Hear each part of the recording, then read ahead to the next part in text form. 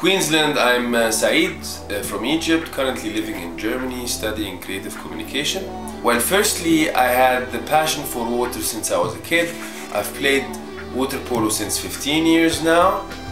In 2000, I developed that passion and took it to the open sea. So I began scuba diving in the most vibrant, most beautiful and exciting dive sites in the whole world. The Red Sea, Egypt. Secondly, I love telling stories. Since I moved to Germany, I've created my own blog called Saeed's German Diaries, just, you know, telling all about uh, my day-to-day -day life and stories in Germany.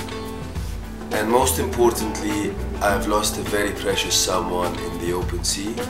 I'm sure by being the island caretaker, I would be honoring him and he would be appreciating it wherever his soul is resting now. Guys, please make my dream come true.